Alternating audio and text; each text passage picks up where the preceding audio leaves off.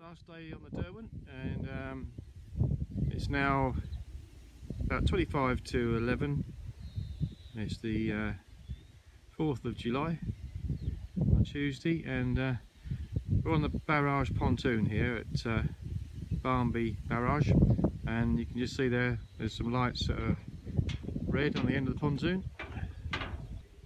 And when the lock keeper turns them to green we can go, which will probably be in the next few minutes, I would have thought. And then we'll be off into the barrage, doing it right, and we've got about an hour journey going with the tide uh, upstream to Selby. And hopefully we're going to arrive at Selby in slack water. There we are, the lights have turned green, and uh, we're on our way, just up around the corner now to the barrage. Hazen on the other front. Uh, I don't think we're going to need to tie on.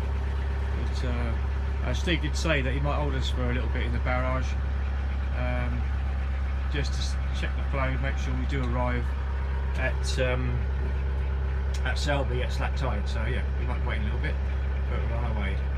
Just leaving the lovely River Derwent and the Potton Canal up there. Really, really enjoyed it. Recommend to anybody that's um, coming past this way on the Ouse to pop in and have a look. It's really nice.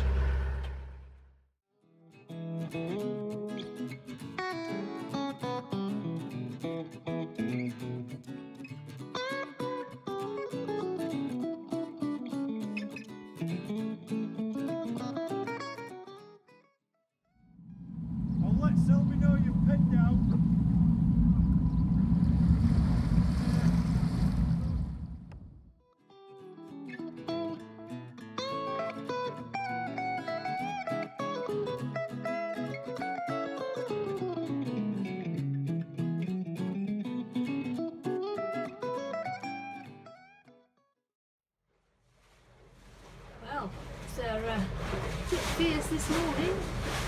We uh, come out of Barmby Marsh and we're on our way back to Selby. And um, I admit, stood a bit out of the front here isn't that great. And there's two people that's really struggled here, and that's Gary and Danella. Because it's uh, a bit rough bit up and downery.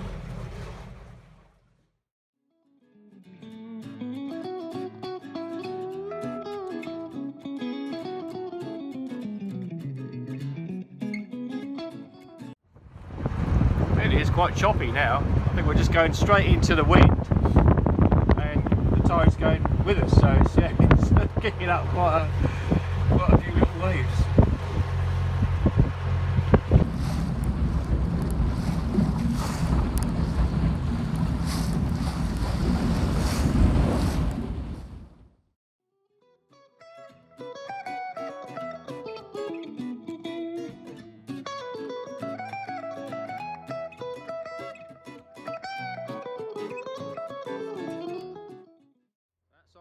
Barlow Reach, 5 kilometres to Selby Town swing bridges to request a swing.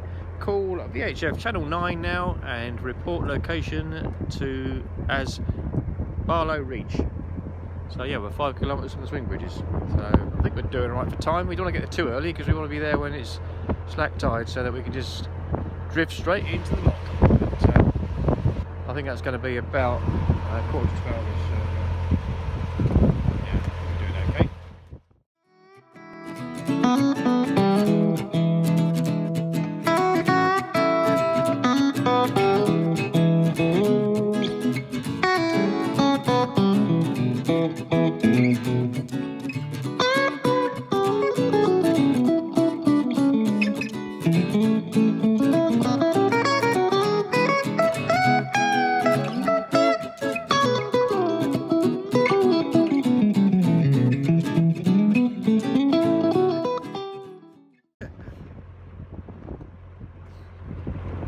big bend here, and uh, again you can see the difference in the the flow of the water as it goes around the corner. So we're going to stick right out away from the inside of that bend. We don't get caught on any sandbanks. swing around now. So, so as we're approaching this bend, it's, it's, a job to see it really, but um, you notice that I've gone quite quite wide and um, I think I was just uh, weary of being on the inside of the bend because when we came down it was quite low water. And um, yeah you could uh, you could see a lot of silt on the inside. So I, I think I was overcautious. I went to, towards the outside. And um, you can't see it very clearly on this footage but you can see the front heading towards these trees. Um, but to get the front to come out I had to push the back in even further so you can you can just about make out the sound of some snapping branches.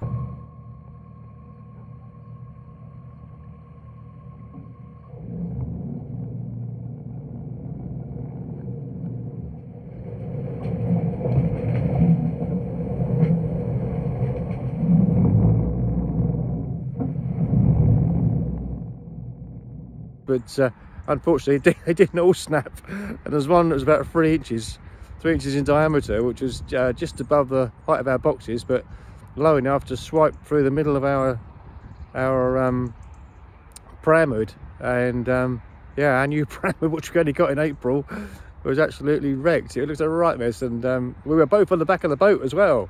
Uh, so it was a bit it's a bit scary. You had to duck down and yeah we, we didn't know what was gonna what was gonna happen quite but uh, I had to turn I had to turn the back of the boat round to get the front out. So uh, yeah it, it, got worse before it got better but eventually we got out of the middle of the river and uh, assessed the damage and it wasn't too bad.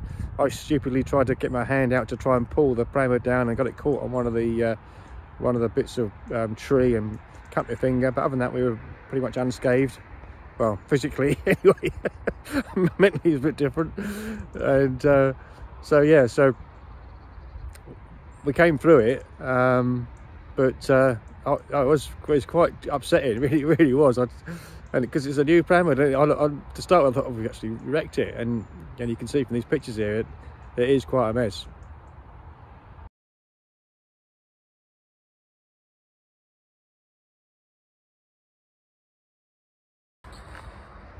So anyway uh, after we'd uh, got into Selby and uh, I'd calmed down a little bit. I decided to take a closer look to see uh, how much damage it actually done because it did look quite bad.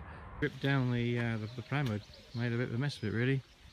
Um, yeah, sort of bent all the brackets up and uh, tube inside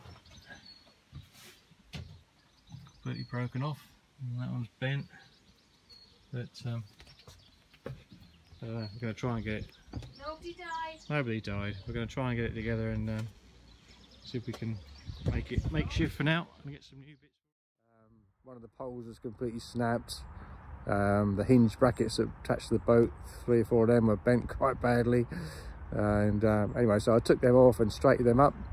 And um, one of the, the, middle pole was completely twisted, but uh, I managed to just twist that round by hand so it was, it was usable and um, I, I, found a bit of tube I could use to, to join the broken one so repaired that that evening glued it all together and um, yeah and, and the, the, canvas strangely was was pretty much unscathed there was a, a, couple of little scuff marks on it and there was a little bit that ripped to the corner which um, Kay made a really good job of repairing she stitched that back up and um, and the side one of the side um, windows came out completely. So um, the little poppers, um, they'd all just broken through. They haven't torn the um, fabric, they'd just broken through the washers and the, and the, little tangs that bend over, they just came right through. So and most of those were either still attached to the canvas or somewhere lurking in the boat. So once I'd found them all, I, uh, I had a few spare ones, fortunately, because I didn't find all of them. But uh, I managed to put all them, put all them back on, and, and, so that's reinstated as new, really. So now um, I know it look, looks not, I know it's not right, and Kate does, but uh, on first glance, it wouldn't really know that um, and we've done any damage. But we might end up getting some new hoops for it, I think. But uh, as it stands at the moment, it's, it's, it's usable. So yeah, I'm sticking with it.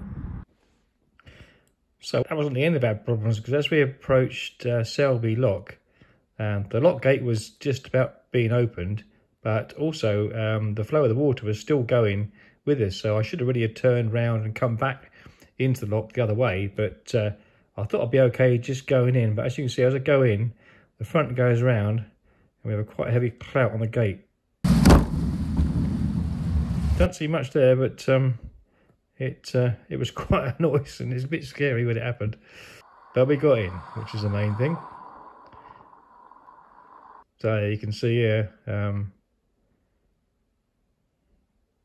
just you look down there, there's a, that was where the fender used to be. There's a bit of a clout on the side of the boat there. Not real damage, just a bit of paint taken off. Um, but that's our fender that was on the side. And uh, as you can see, it sort of almost split it in two and broke the rope. But it did its job. It saved the boat. So, yeah, no harm done, really. Yeah, I mean, it's a bit of a, bit of a mistake, really. Like I said earlier, it's uh, another lesson learned for us. So that's about it for this vlog then. Um, yeah, from here we'll be going back out onto the tidal Ouse, but going further north now, up towards York and Ripon in the, in the next few vlogs. Okay, so thanks very much for watching again, and uh, I'll see you soon. Thank you. Bye.